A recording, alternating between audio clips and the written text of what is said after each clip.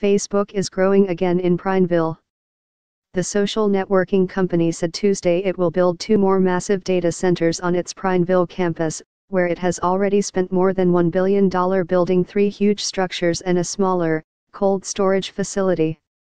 The news means a continued influx of hundreds temporary construction workers into the small, Central Oregon community that is still recovering from the loss of timber mills and Les Schwab's corporate headquarters.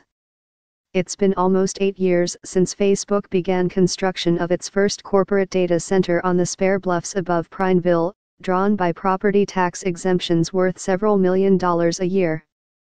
By 2015, when Facebook began construction on its third Prineville data center, those tax breaks had saved the company more than $30 million.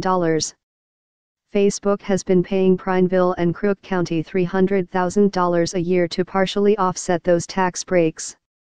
Additionally, electricity consumption in the first two data centers were generating franchise fees worth $600,000 a year to the city, boosting public coffers by 12%.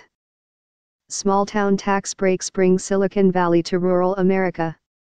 Apple has also built large data centers in Prineville, just up the road from Facebook's campus. At times, as many as 500 construction workers have been in town to work on the projects, squeezing the local housing supply.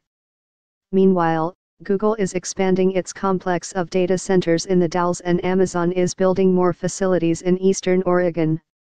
All benefit from the same kinds of tax breaks that drew Facebook.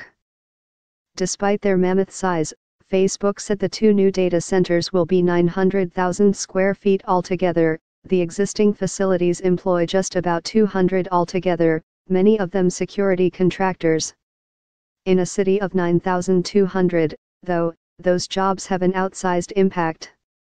Facebook said the new data centers will cost hundreds of millions of dollars, most of which will go to the powerful, high-end computers that run the social network and store social media updates, photos, and videos. Construction on the fourth data center begins this month, and Facebook said it will be up and running in 2010. The fifth facility begins construction next year. Mike Rogoway, Twitter, at Rogoway, 503 294 7699.